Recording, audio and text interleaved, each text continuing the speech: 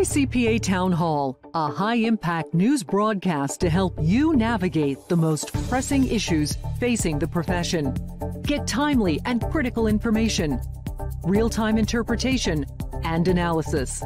Learn strategies, best practices, and capabilities to drive long term success for your clients and organization.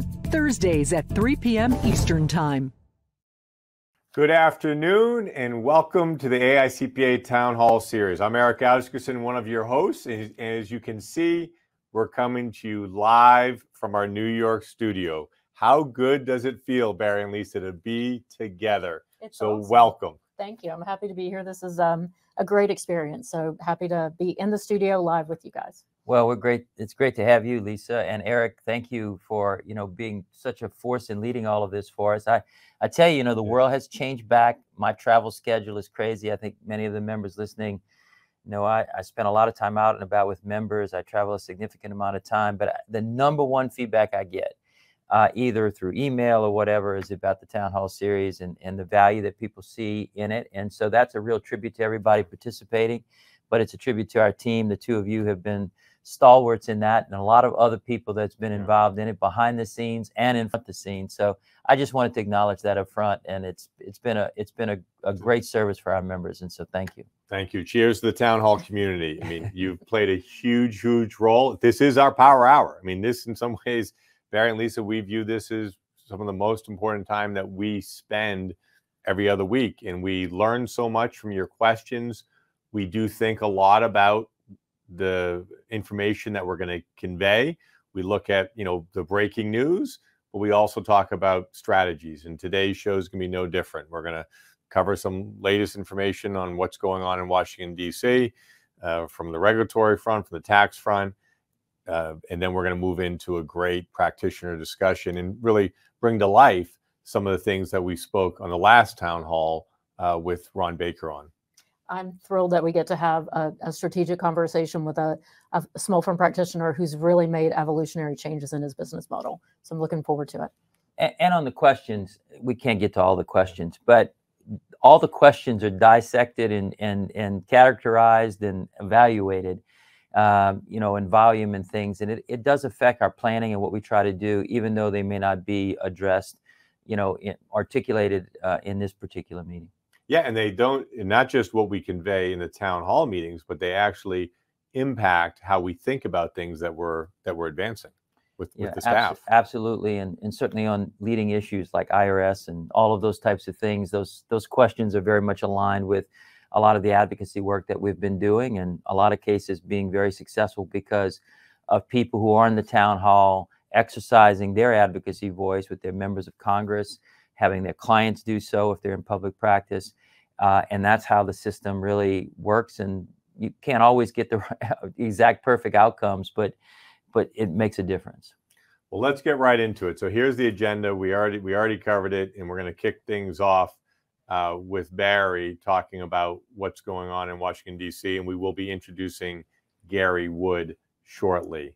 So Barry, uh, it's it's July 2022, and we've been talking about this uh, long and winding road since January of uh, of this year. Uh, we were talking a lot at the start of the year about Build Back Better. Uh, that that acronym or BBB has has kind of gone away. Lost its panache. lost its panache. Well said. and now we're focused on the reconciliation bill and, and what it will potentially eventually be. it feels like a lot longer than since January, to be honest with you. It's been it. I've been representing the profession in Washington or in states literally since 1987, and I have.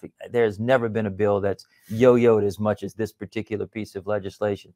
Uh, it's just been it's been absolutely amazing, and you know where we are today, really. Uh, Eric and everyone listening is is a, is you know Senator Man. There was a lot of momentum to look like there was going to be another deal cut, and Senator Senator Manchin you know, stood up over the weekend really and said, no, I'm not going there really because of a couple of major issues. And that really forces some political decision making uh, in the Congress. And, and really, it's going to be a reconciliation bill and it's going to be very narrow. And, and the importance of reconciliation, to just remind everybody, is it can pass the Senate with 50 votes. You basically get one of those a year and it's got to pass by September 30th. And so um, what we're going to see really is it's going to almost be a healthcare bill. It's it's going to have provisions in it related to um, prescription drugs, the, the relationship between the Medicare program and prescription drugs to allow a different negotiation process to lower some of the cost in that. Uh, and then um, we're going to see some some uh, fixing of some things in the ACA, the Affordable Care Act, um, as it relates to some of the credits and to make it, you know, solvent and things of that nature. There's bipartisan support that's likely to get through. Um, and in the end, you know, there's there's going to be political fallout on that, and you can see it positive or negative in in that in that environment. So some so something we feel will occur. They're going to leverage this re- reconciliation bill tactic, and when they do that, then that's going to enable potentially a couple of other bills to advance. Yeah. So first off, it will be a reconciliation bill, but it, it won't be a tax bill. So really, the reconciliation process that started was to get tax, predominantly tax legislation, in some cases, some cer- certain social activities, ESG being one topic, uh, through the Congress in that environment. Those other things will fall away. So there will be a reconciliation bill. Uh, and then what that by having that sort of behind the Congress, what it that's going to that's going to really free up a semiconductor bill, which you know it's got a bunch of different names to it. It's really targeted at how does the United States produce semiconductor or chips, if you will, uh, without as much dependency on China. Uh, and there's going to be a, a fairly large 250 uh, billion dollar bill here that's going to um, help. And some of you may have impact in this, some of your clients or ancillary services to some of these, but to, to help support the creation of, of manufacturing facilities in the United States predominantly. There's other things in it that get put into any kind of political process. Uh, but that frees that bill up. That probably wasn't going to pass because there was a fear that that was going to be a backdoor in some of the other issues, particularly a fear from the Republicans. And um, now those two things are probably going to align. In fact, the semiconductor bill probably will get voted on next week. Even the, and there's debate on that. I mean, you're you're seeing some editorials with the feeling Whether that that, right that, or not. that yes. bill has grown now. It's grown to be much more than just a semiconductor bill. That, that's right. When bills move and have agreement, then you know Amendments get added. favorite amendments get uh, get put into those types of things. And as long as they don't weight it down too much, then the bill likely gets uh, gets passed. I think I think it's also really important for people to understand though that you know we're sitting here in in July and you think about well you know this the election's coming up that seems like a long ways away in November. The reality is I don't know there's maybe maybe a dozen bi- uh, days that Congress will meet between now and September 30th, which is when the reconciliation bill has to pass. Um, there's generally a congressional recess. They could cut that short. Um, and then, you know, September, they come back after Labor Day, and there's just not a lot of work days there. And it clearly is an election year. And so the whole election process takes away a lot of those times. So I, I think those two major things, you know, basically a healthcare bill through the reconciliation process that's not tax. Right. And then I think the second thing is this so-called semiconductor bill. But it, it, what you lose on that, and I think it's really important, is some tax extender issues that are out there are not likely to be in this. And we can talk about some of the lame duck stuff where that may come into it. Well, let's hit on that, Barry, but also the retirement bill. So there's a slight chance that that one could advance which, well which before the produces, elections. which, which I guess for people listening, it produces potentially, if it does pass, uh, potentially planning opportunities for clients and things along those lines. So that's maybe the most important takeaway there. There is a chance that that gets through. Uh, it could. It's not probably as certain as the other two, but there is a chance that that gets through. And then, you know, the the tax extenders issues. There's something about maybe like 40 or so extenders that are in process. The R and D one is probably the biggest one. Mhm. That is not likely to be part of that, uh, part of the bills that's moving now. That almost assuredly moves into a lame duck session. We, you know, then the lame duck session has had some unpredictability. What is really the results of the election? You know, if the Democrat, if the Democrats lose control of the House, how big did they lose that by? Who actually not does not get reelected? And then, you know, members of Congress sought a way, am I be- better off waiting to January when the new Congress is seated, or is it better to move something in? But tax extenders affects people on this call and their tax practices. Mhm. And that's, you know, the odds are something will probably pass with tax extenders. Again, a lot of pressure on the on the R and D side, But there are other sides that say no benefits to business unless we find some ways to put benefits into the bill to individuals, like child care credits and things of that nature. So it, it continues, you know, post election continues to be this horse trading that generally doesn't really move very far in today's Congress. So what we'll have, we've we've had that for the past couple of years. Come December, we'll be talking about most likely this tax extender bill getting you know rushed rushed through Congress. And you see here on this slide, you know some of the other bills that that could make progress before midterms or, or shortly after midterms. And appropriations comes into play as well, which funds the government. You know, how long of a, a continuing resolution gets passed? You know, does it get it past the elections? Mm. So there's a lot of moving parts. I think the takeaway is certainly from the elections to you know January one and into tax season, there's going to be some uncertainty. There's going to be some things that probably affect planning and you know particularly tax practitioners to a large degree. And you're not going to get a major tax piece of legislation and reconciliation. That's probably the two big takeaways here. Well, let's move into one more topic, and then we're going to bring Lisa in, and she's going to have a discussion with Ed Karl on some of the, the tax and IRS items. So there's been a lot of coverage over the past two weeks related to ESG, in particular related to you know climate and you know concerns around energy policy. We talked about this a couple months back. So what we want to do is just take a quick step back and talk about the, the key drivers uh, of the ESG movement, uh, which is the market forces, a lot of investors demanding it, regulatory and, and standards. And what has happened over the past couple of months is we had the SEC come out with their uh, disclosure draft. And Barry, I want you to comment on that 14,000 letters. And we've also had uh, the ISSB come out with their first two exposure drafts. Yeah, so uh, those are both big issues, and and the SEC's proposal, which is part of the regulatory part uh, or the government part of the of the notion that uh, the three drivers here, it's different than the market forces of the yeah. standard setting, uh, is a massive proposal. There's a lot of criticism of it. Um, you know, does it go too far? I mean, I think there's more support of something, but it's not. You know, it's too much. You know, is probably the overarching theme. Fourteen thousand. It's actually, I think, closer to fifteen thousand letters that have come in got to be the world's record as far as responses. A lot of senators and congressmen yeah, writing. Just, everyone's writing letters. Yeah, and so you know the going through that by the SEC and its staff slows this process down.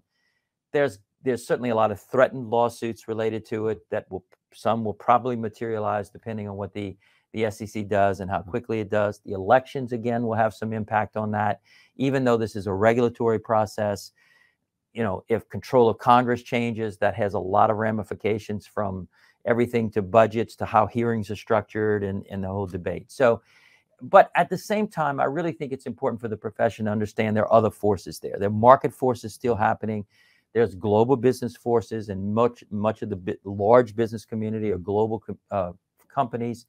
There's clearly things happening in the ESG space around the world um, including in China, even though that may sound a little far fetched. There are things happening, at least at certain stratas in the in the Chinese business environment with ESG. And there's a big component of the profession on reporting and ultimately assurance. And um, that's going to continue to evolve. It's going to move faster in Europe than it is in the United States, but it's going to move. Um, and how it moves, whether it's going to be significantly market driven, or it's going to have some regulatory components. It's going to be how the SEC reacts to these rules. Now, the ISSB is the new global standard setter. There's not going to be a U.S. standard setter in this space. It's going to be a global standard setter. Um, they were, you know, they came out of COP26 last November. It was announced the formation of it. We've been instrumental in how that gets done.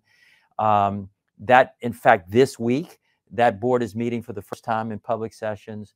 There are exposure drafts that are out there, um, and there's going to be additional work that's being done, standards adopted, even by the end of this year. So this is going to move, you know, pretty quickly uh, in that environment. So we've got some questions, even some questions coming in on what is ESG. There is a ESG resource center on the AICPA's website. You just go there to the search engine, type in ESG, and it's about ESG. You know, the acronym is spelled out here: environmental, social, and, and governance And the When- environmental is really Is driving the train right now. driving the train. And Barry, when you, I'm just going to click. We're not going to cover. I'm going to come back. We're not going to cover the re, read these quotes. But you know, debate sometimes helps. And we we actually just held an ESG symposium right here in our in our New York office. We we convened a group of 60 leaders uh, from companies, standard setters, you know, governmental officials, firms, and you know, we talked about where things stood with ESG and the role that that firms can play, or if you're a finance professional, the role you need to play in your company. And this dialogue probably will make it better. It's a positive. So you've got some headwinds right now, you know, people concerned related to how this is impacting energy policy. With that, all that said, there is a real interest on kind of addressing some of these matters. Yeah, and it is a balance with the other Yeah. things, and so it's not taken in sort of a, um, you know, a, a, a hermetically sealed, you know, environment. There, it is in fact a, a ecosystem, uh, in not only for environmental but for the other business issues. So even so, it is in, it's going to happen in Europe, but even say in Germany, they've backtracked from some of those things today because of the the the war between Ukraine and, and Russia, the the invasion by Russia and the and the the prices of, of energy. And so they they have a real issue. I was actually in a meeting last week and with, with some german accountants and you know they were shutting off the the pipeline in, from russia to germany for repair maintenance and the big fear is that when it in about a week when it's ready to be opened back up russia doesn't open the other end of it and feed the the source of energy and so that creates a huge problem and so Mm. these things have to be balanced in that prospect and by the way, thinking Yeah. talking about balance and regulation, um, I, I do want to count, count one thing because you, we've talked about the SEC in this, and and um, th- there's a high profile finding in the SEC uh, related to ethics in the profession, but the profession is under a lot of scrutiny in the public company space. But I want to address on one important point because the media has sort of gotten this wrong. Uh, there was one of the big firms that was uh, part of that, and there was um, reporting that there was cheating on the CPA exam, and that was not the case. It, it is the case that's in the media, but it's not the case that is the reality of the fact pattern. So I just wanted to cover that particular point. There's a lot of moving parts behind the scenes on that, but um, it wasn't characterized correctly. Well, thanks for that clarification. And as we conclude that that segment on ESG, what we're thinking about with ESG is how we can help help the firms or help members in business and industry understand how to how to how to how to process this. So this is something that we're working on, uh, thinking about from a from a training strategy standpoint as well as a solution standpoint. And you know, you have other. It's a different category. You look at SOC reports and that's a category that's evolved over a number of years. This this one could evolve much quicker than what we saw with SOC reports. But if you you know we went from SAS 70 to, to, to the SOC one and two and three reports, and there's just these these are uh, evolutions that occur due to market forces. Right. Easiest way to think about it is for literally almost 100 years, 90 years since the 1933 Securities Exchange Act, the information flow from business to to government to lenders, et cetera, have been about financial statements. In the US, we would call it GAAP basis financial statements. That world is shifting to be a broader set of information, in some cases, environmental, in some cases, social information, strategic information. And it's about will the profession provide assurance, reasonable assurance, uh, maybe limited assurance over the full set of information, not so financial information plus. And that's really where the world's moving to. And it's a great, it's important for the profession to be skilled up to be able to handle that. And even in the SEC proposal, there is provisions about the, the, the profession attesting to some of this information. It's contained in the European proposals. Uh, it's not necessarily someone handing it to us. We have to own it by having the skill sets to be able to do that because the, the world wants to trust us in putting that information out in a reliable fashion. Well, we're, we're going to move now. There's a bunch of questions that have come in. There was a question, Barry, that actually came in related to uh, the, the matter you just talked about on how the media, maybe media not getting it right related to um, that investigation uh, recently that was was covered in the in the press. The other a a couple of questions that have come in, and it's it's it's related to ESG. Is you know does the AICPA support you know what the SEC is doing or support this ESG movement. So maybe a comment just on that. I think what, what we're trying to do is just support the role of, of providing information and trust to the markets. Here, here's how I describe it. There's a lot of emotional debate about what is happening, particularly in the environmental space. And, and it's pretty polarized and it's pretty passionate. And that's okay. I mean, just mm-hmm. about in the general public, and it's reflected in our membership clearly. But you know, what ultimately solves debate is transparency and reliability of information. Does this particular initiative help the environment or not? Does it is it net positive or net negative with with say greenhouse gases, et cetera? Standards that measure that and reliability and consistency that that's done fairly, consistently with some some level of assurance will tell that story. Over time, it will tell that story one way or the other. And it will prove some people right and some people wrong. And what our profession is, if you think about financial information, the financial success of a business, an audited financial statement proves either that's going to, you know, the company is is in fact making money or not making money based on the standards. And that's what's happening in this particular space. And that's a, you know, a bit of an oversimplification, but in a large way, measurement and transparency and ultimately assurance in this space is actually the answer to some of this emotional debate.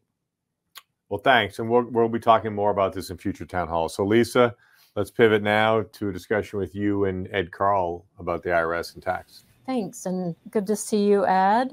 Lisa, uh, nice to see you in the uh, studio there.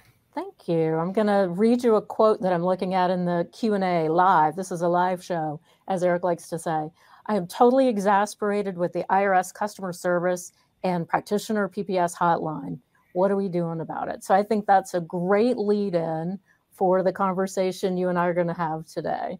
So well, you know, we can talk, jump to that right away. We were going to talk about that in a minute, but let's just get to that question. You know, Barry a moment ago talked about the Q and A, and we don't always answer them on the uh, town hall, but we um, it influences our thinking what we do. Well, here's a good example. Two weeks ago, I was monitoring the questions and I saw a million questions about the PPS hotline. And um, I spoke to our committee that deals with that. We, we have a letter in the works about that. Um, actually, the committee is meeting right now as we speak, and we're um, working on that issue. Unfortunately, part of the answer to uh, customer service on the phone lines is that a lot of those folks were shifted to the surge teams, and the surge teams were put in place to work the, the backlog down. So, as they take those people away, and frankly, we have supported the surge team work. Um, that the backlogs have got to be drawn down, um, but we are trying to address the specific issue on PPS as well at the same time. Thanks, Ed. I know I kind of threw that one at you. So let's let's go back and talk about the the backlog that we're seeing.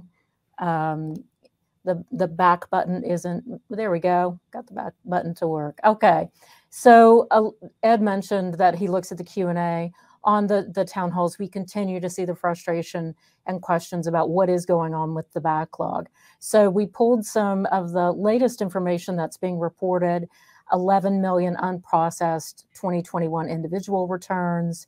9.3 million of those are paper returns.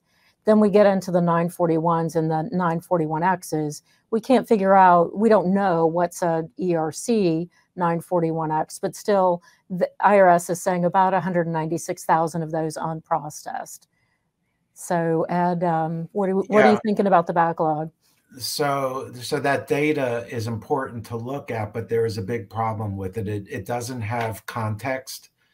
Um, there's no comparison to calendar norms. There that's all missing.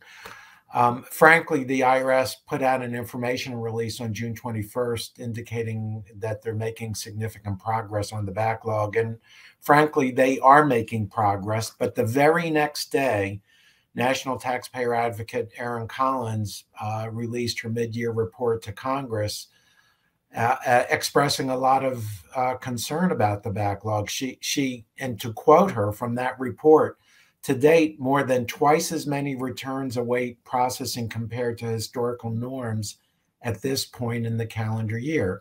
We don't know what the the backlog is exactly. Uh, we we don't know what the the numbers are. Frankly, that is a focus of a lot of the advocacy work that we've been involved with. Lisa, we go to the next slide.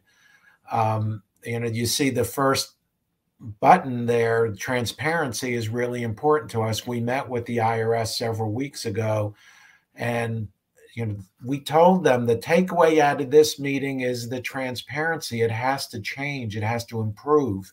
It has to get more complete because they're working hard. They're doing a lot of things. They're drawing down the backlog, but we don't know. For example, what are they anticipating come September 15th and October 15th when we get to the end of the extended filing season? What happens to the backlog then? We we don't know. So we're trying to do a lot of work dealing with the the transparency and completeness of this. As i said in a meeting we understand that uh, a prominent senator is in the process of uh, moving a letter through congress. Uh, there could be more. It could grow to be a bipartisan letter directly to Commissioner Rettig. And we understand that in that letter, they will be asking some detailed questions about the backlog and about the, the numbers and what they mean. You know, and two oversight committee hearings this past spring, Commissioner Rettig promised that we would be back to healthy levels by the end of the year. So what what does a healthy level mean? I mean, in my mind, it means pre pandemic inventory levels. The IRS doesn't finish their work at the end of the day. There's always some kind of an inventory. But we don't know what healthy means exactly. We're trying to get answers to a lot of these questions. The real key for us and for our members, we've already been through three um, backlog or or pandemic influence filing seasons. Lisa, we speak a lot about what's on our members' minds. Filing season in a normal time is not so good. It's not easy. Right. But when you have three back to back to back pandemic backlog influence, we don't want a fourth one like that. And that's really deeply on our minds. And so, a lot of what we are recommending in this particular letter is focused on that healthy backlog by the by the beginning of next tax season. We have longer term recommendations that we've talked about on previous town halls, and, and Ed has um, committee members that are looking into the strategic plan that the IRS just released. So we'll be continuing to monitor what their plans are, but we really want to get them to focus on getting that backlog to healthy levels. Ed, one of the items you and I talked about is that first time abate. So can you give me just a little bit more on, on that special first time abate that, that we're recommending. Right. So um, a lot of our members know that the IRS correctly and um, uh, appropriately created what they call first time abate. And what that means is though it's a, a quick use of the reasonable cause rules to get rid of a penalty. Reasonable cause um, when a penalty is assessed against the taxpayer uh, allows them to say, you know what, it, it the penalty was assessed for a good reason, but this is a, a, a, usually compliant taxpayer. Let's get rid of it. First time abate was a system to get rid of those penalties in a much quicker, uh, easier fashion. But taxpayers can only use it once in every three years, and you know we're talking about entering a fourth filing season under the um, auspices of COVID hanging over us. It's mostly gone. We're talking about getting back to normal, but there are still problems out there, and taxpayers may have used first time abate because of um, because of COVID. And we've heard from many situations where they qualified for plain reasonable cause, not using the special first time abate Yet IRS said it's easier to, easier to use first time abate. So they used up a taxpayer's one and three years first time abate. And there's still a lot of problems. So we're trying to get IRS to consider as a way to help them draw down the backlog, just getting rid of some of these penalty notices in, in a much, much easier fashion, even for taxpayers who might have already used first time abate uh, in the last three years. And, and so it still allows those who haven't to reserve it for the next several years. So it's, it's as we call it, a special use um, to help IRS with the backlog. That sounds like a, a, a good recommendation. So I wanted to spend some time talking to you about some of our favorite topics. We already talked about um, practitioner priority service hotline, but what are you hearing about ERC? So yeah, we we hear a lot from members on ERC. We've been tracking. We have a committee that tracks it as well, and we're in touch with them on a daily basis. We're we're there are still problems. No, don't get me wrong, but we're hearing that things are moving in the right direction what we were originally hearing that it was taking eight to nine months on average uh, for many people more than a year or more to draw down um, to get response to um, amended 941s and for taxpayers to get their money um, i'm hearing now that people are getting taxpayers are getting their checks in about five months. Uh, several um, committee members who I spoke to over the last couple of days are saying that claims they filed in February and March are just starting to come in now. So, so it's still taking longer than average. It's there are still, I'm sure there are outliers out there and plenty of problems that our members are having, but it looks like it's moving in in the right direction. So um, I'm very pleased about that. And we've talked in the past about the aggressive marketing claims around ERC. So just that's still on our radar. We know that there's still um, high levels of interest in that. Yeah. Um, even even hearing about um, IRS developing its its audit strategy around ERC. So in in about a minute, Ed, um, any any additional thoughts on ERC? Yeah, the the, the IRS de- delays exacerbate that kind of a problem, but I would warn our members off these groups. Keep keep away from them. One one CPA told me that one of these marketing companies approached him to prepare the amended returns on on a fixed fee basis. Meanwhile, these marketers are getting a contingent fee for bringing in the taxpayers to them, uh, it, it, and they're using um, approaches that are not commonly accepted by CPAs who we know uh, are, are appropriately filing returns. So stay away from, from them as the CPA did. Also, you mentioned um, audits. Those are starting to happen. We're starting to see um, IDRs, the, the information requests that agents are making, and they're they are being very thorough and they're going into the areas that these marketing um, aggressive marketers are maybe playing a little loose with. IRS is asking for a lot of detail in those areas. So it's starting to happen appropriately. Um, we knew that they would start to audit and look for problems and look for fraud, and that's going to happen. Thanks, Ed. Um, really quickly on Schedules K2, K3, um, we've been advocating with the IRS for additional guidance to be released around that. And um, Ed has uh, indicated that our task force is going back to the IRS with specific areas where we think that additional guidance is needed. And then um, they're hoping to get that out in time to be helpful for the September 15. Yeah, it has to be done very quickly. We're working, yeah. we're trying to move that along. So we'll keep you guys um, apprised of any developments in any of these hot topics and we appreciate all of the comments that are coming in on the, the Q&A. Thank you, Ed. Thank you. So Lisa and Ed, thank you. Now we're going to move to a good, you know, practice, practical discussion with with Gary Wood. I'll let you introduce uh, Gary Wood. I think this is such an important portion of the town hall where we really try to discuss strategies, but then also discuss the implementation of these strategies with practitioners. Thank you. And, and Gary, welcome. Gary is with CRC, it's an accounting firm in Missouri. He is a Leadership Academy grad. I think you said class of 2018. And um, after we had the conversation with Ron Baker on last week's town hall, um, Gary's firm came to our attention because he's he's really done some great work in in evolving his firm, and that's why we wanted to bring him in to have a, a conversation about it. So, Gary, welcome. Tell us a little bit about your firm.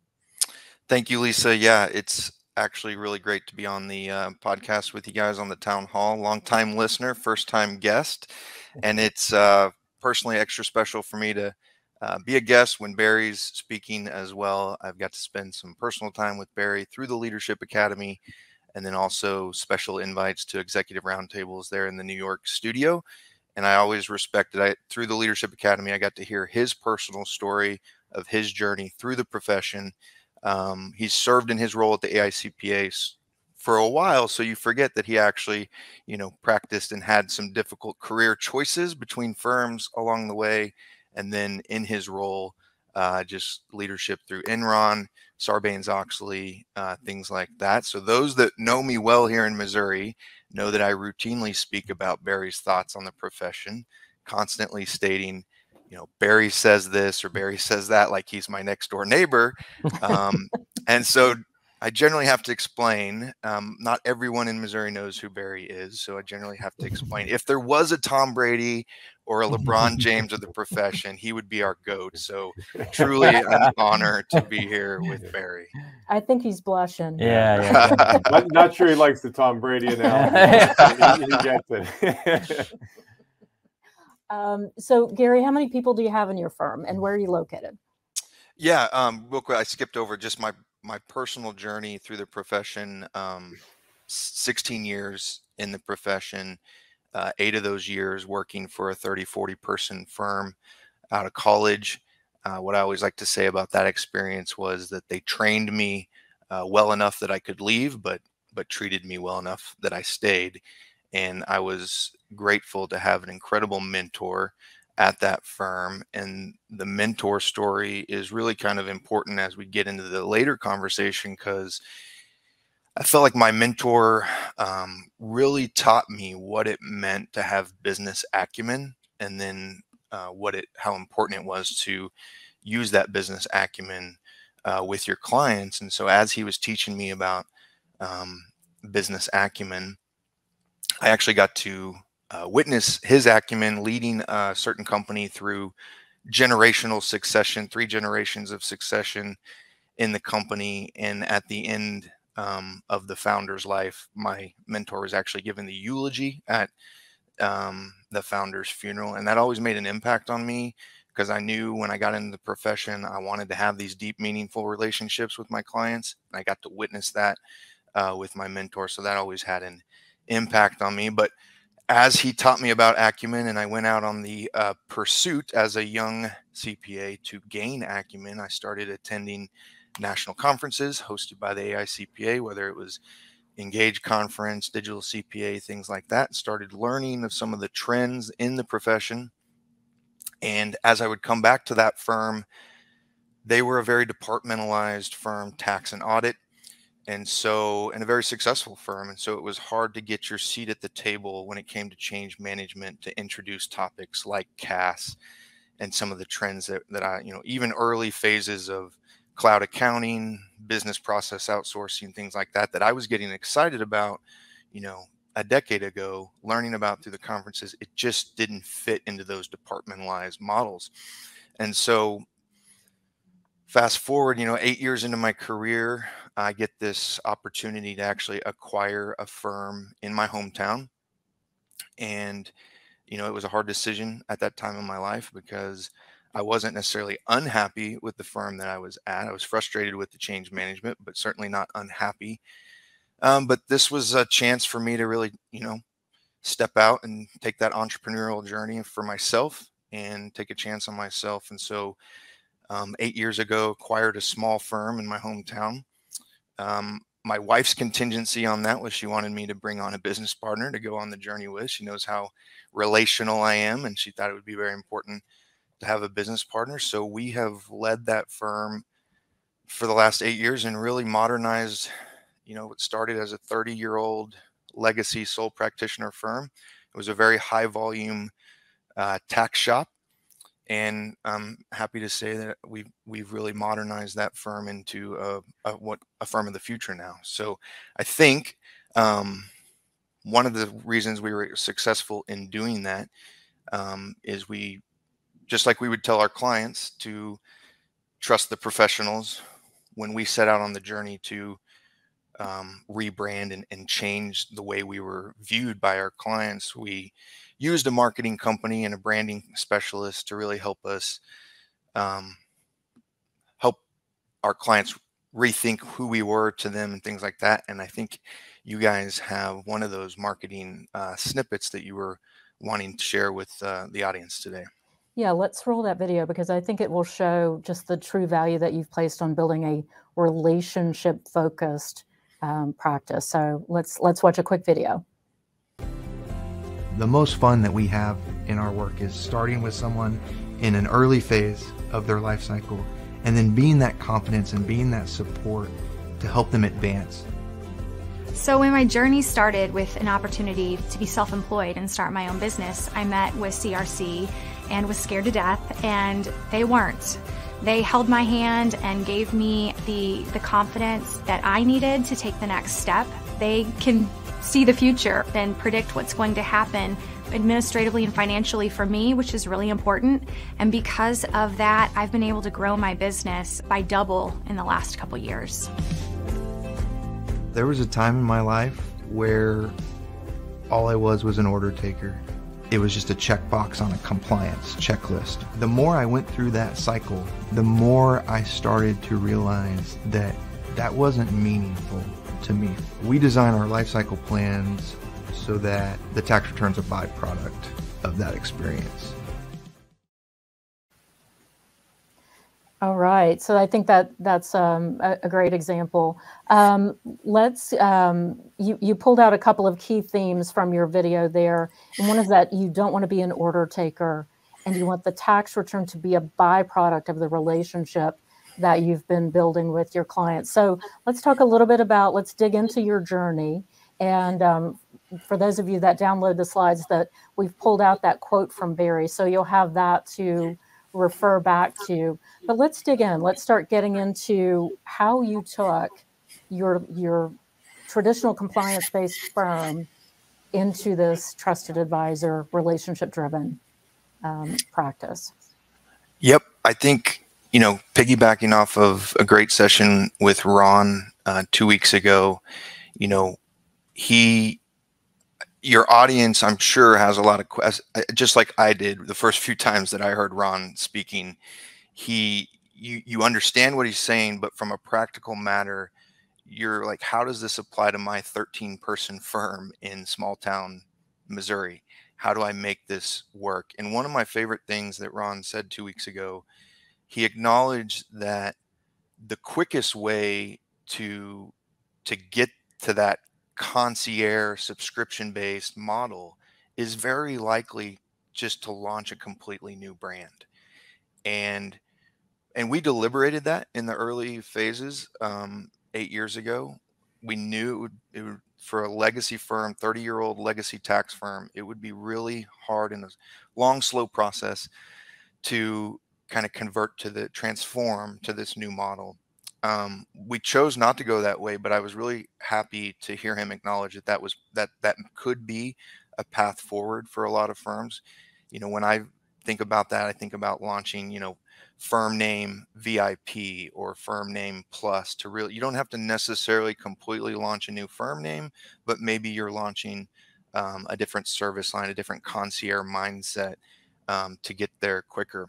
But like the slides layout here, really great um, the first step in our journey, um, which is not necessarily a Ron Baker value pricing principle, but for us, it's what worked, and it was a baby step for us to get into Ron's philosophies. Was we just moved our legacy clients into a fixed pricing model, and what I tell firms about that is, I to me, you know, in commerce, there's always a trade off. Sometimes it's a trading off a service uh, for a payment or for currency. But in this regard, that, that of course is happening, but it's also a mutual trade off it's a mutual commitment between the firm and the client to say that we're going to hold space we're going to reserve capacity in our busy schedules to provide this future service and as a trade-off for that all we ask is that you pay us monthly to do that so that mutual trade-off was really important and when we presented it to our clients eight years ago and we branded it as common sense billing if you go to our website or see any of our marketing material you'll hear us present it as common sense billing. It's it's really just a fixed pricing agreement model. But that helped us start this um, process and i would tell you the biggest thing that did for us is when you got to the end we call it a service plan but when you get to the end of a 12 month cycle of a service plan it memorializes the renewal of that service plan. And that's where step two comes in. As we got better at fixed pricing agreements and we were able to memorialize the end of that fixed pricing uh, agreement, it opened the door to a lot of opportunities for our firm to start to build in value adding or value pricing services that we had never offered before. Behind the scenes, we developed a workflow and a system, we're very process driven. And we were designing that behind the scenes. And then when we got ready to roll it out, when we got to the end of a 12 month cycle of a service plan and it was time to renew that service agreement, we could have the conversation about what went well and what didn't go well. And we could start to add in and, and layer in um, services on top of that. So I'll just pause. about, oh, I'm sorry. Yeah, I'll Um, just before we go to step three, let's pause there. Yeah, what I like about that is the annual renewal process takes away just the um, same as last year mentality. It, it gives you a trigger to say, let's sit down and evaluate what went right, what went wrong, and, and have a conversation with the client about what their expectations were, and then how to meet the, the outcomes that they're after. So I like that approach. Well, Lisa, we're getting we're getting a lot of great questions. Uh, Gary, they're, they're really enjoying listening to your story and your journey here. Talk a little bit about you know we got some you know, specific questions on uh, how to how to go about this. One being the engagement letter. How did how did you manage your engagement letter process? We worked with our professional liability carrier and made sure that they were in agreement with the services we were offering and the engagement letters that that we were providing. Yeah, that the scope in those in engagement letters is really important, and making sure that the services you're pro- being, you're expecting to provide to your clients are covered by your professional liability carrier. So, but um, good answer, good answer, Gary. Um, let's move into step three. So you've got um, your annual renewal, and then how have you been adding in the advisory? Yeah, so between step one and step two, a, lot of the what went well, what didn't go well conversations were, well, you know, being a high volume tax shop at the time, we're making this transformation. You know, well, I was really caught off guard by my tax liability, or I, I didn't have time to prepare for it. Um, so we started building in those proactive models of of tax planning. That was really just step two was just getting better at um, systematizing being process driven in providing that tax projection and tax planning service, getting our team um, built up where they could annualize profits and start to predict uh, tax liabilities and things like that. Step three was really more, it's been a tri- certainly a trial and error um, process, but you know, one thing that I always came back to the firm after networking. I'm I've helped charter a small firm networking group that has provided um, through the PCPS, through AICPA's PCPS, small firm networking group, but um, really has provided a ton of insight and a ton of community um, for me. And one thing that I always learn from networking with them, as well as at conferences with other practitioners, is really just this feeling on demand you know so many cpas wearing their busy badges busy busy busy and feeling on demand and keeping up with email and you know questions coming in phone calls checking on the status of tax returns and so much of that um, we really wanted to we try uh, through the trial and error we tried layering in you know unlimited communication to our clients. That didn't go incredibly well Um, so we had to kind of move off of that. But the one thing I would tell you I didn't even like about the unlimited communication model was it really put the client in the driver's seat of when they should be contacting you. And when we moved into step three, which was which is where we're at now with our advisory services, um, my partner group and I read a book by Cal Newport called A World Without Email. It was very powerful for us because in that book he talks about synchronous communication versus asynchronous communication. And you know a lot of things we learned through the pandemic about doing exactly what we're doing right now was you could actually have better communication if you got outside your email inbox and had more access points with your clients. So the big step in step three for us is and if you if you've watched the whole video from our homepage you'll notice that part of our secret sauce in our service plans is we follow a concept that we frame up as the life cycle of a business and we view every entrepreneur's journey differently and we try to segment each one of our clients and pin them into a profiled life cycle of their business. What that helps us do is acknowledge proactively how many access points with their advisor they're going to need during the year. Believe it or not, the lower level life cycles need more access in shorter sprints. They don't need half day on site visits, but they need more 30 minute phone calls with their advisor and things like that. Versus the more mature businesses, they don't need a lot of weekly check ins or monthly check ins or things like that to keep up just for quick questions and insights but they do need those deeper dives like when you're going to do a strategy session with a mature business you're going to spend a half day on site with their c-suite executive team and you're going to want to get everyone seat at the table and have those high level conversations. So it's less access points but longer access points. So that's been a journey for us of defeating the you know continuous email inbox chase and actually getting and our clients viewing us more as advisors rather than just sending emails. That's great well, Barrett, maybe you want to get in here with a question. I'll just, uh, as you, as you, before you do, just I wanted you just to comment, Gary. You and I talked earlier about just the client accounting services opportunity, and and how you how you're thinking about that. Yeah, I mean, somewhere between, uh, actually, probably in step two and definitely step between step two and step three, we um, began adding the the accounting services using cloud-based accounting, using you know cloud-based expense management apps and that's the thing i always say is like tax is always the anchor of the relationship but it doesn't have to be the value proposition because like the video says that's the compliance piece.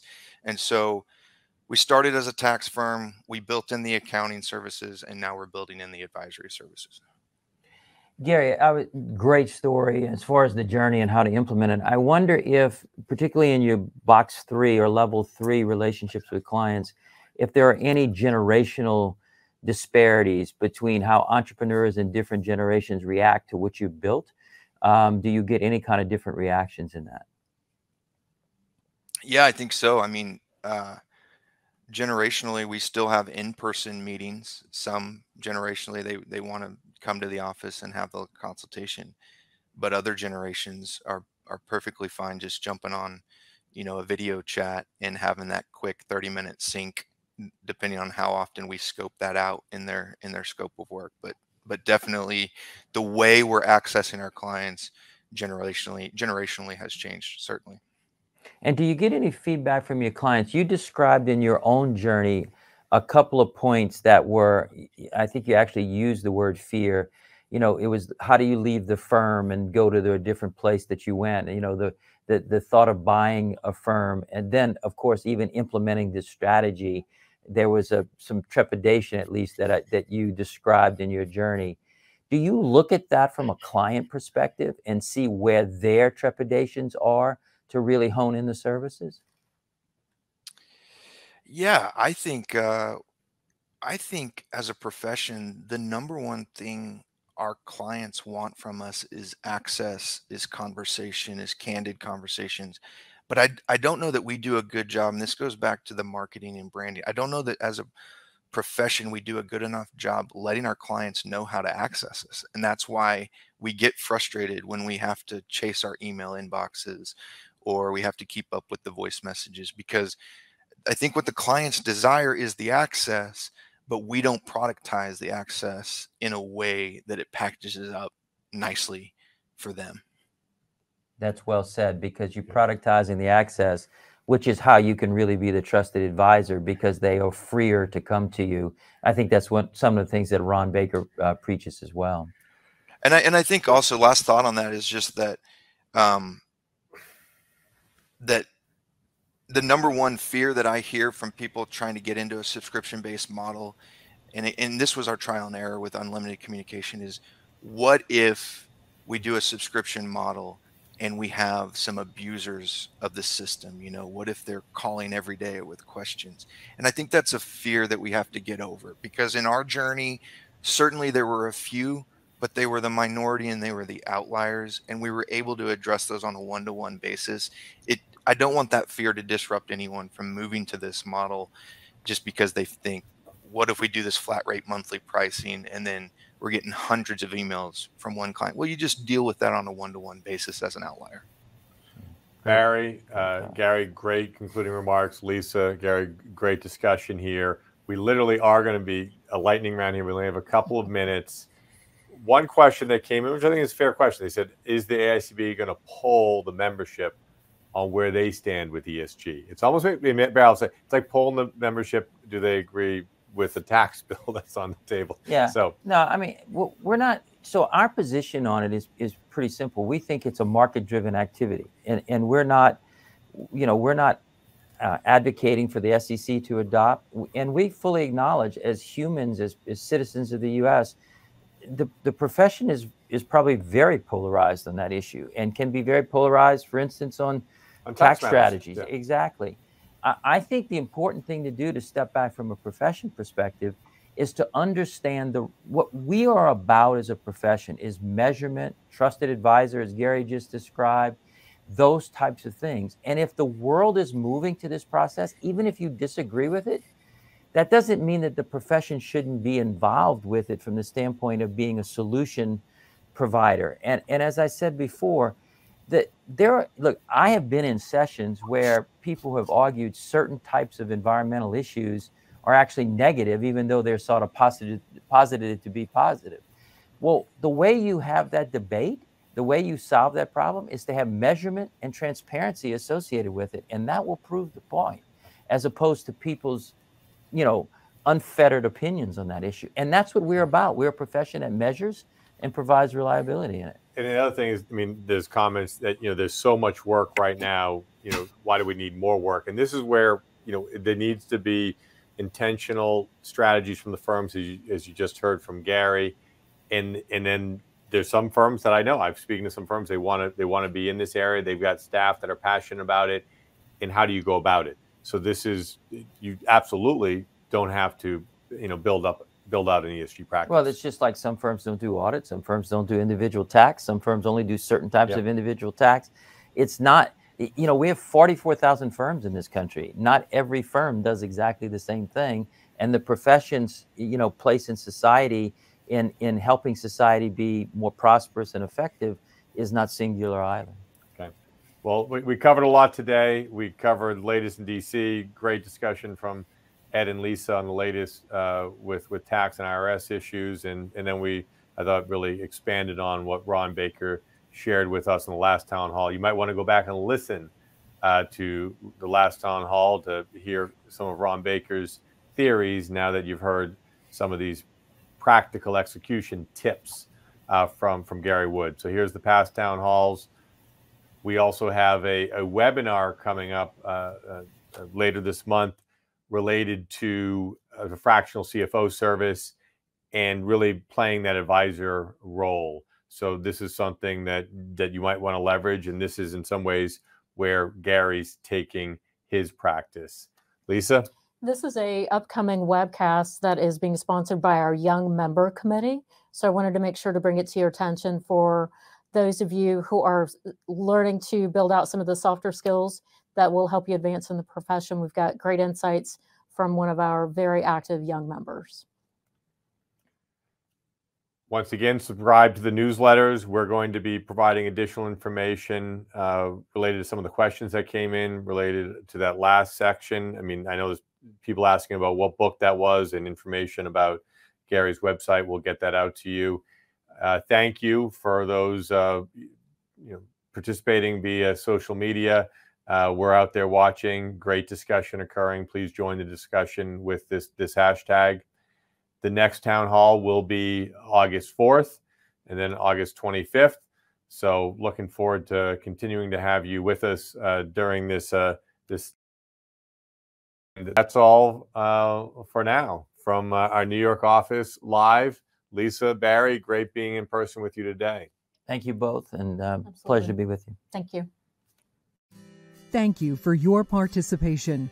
You can now subscribe to the AICPA Town Hall series on your favorite podcast platform, as well as watch archives on YouTube and AICPA TV. Tune in for live broadcasts Thursdays at 3 p.m. Eastern Time.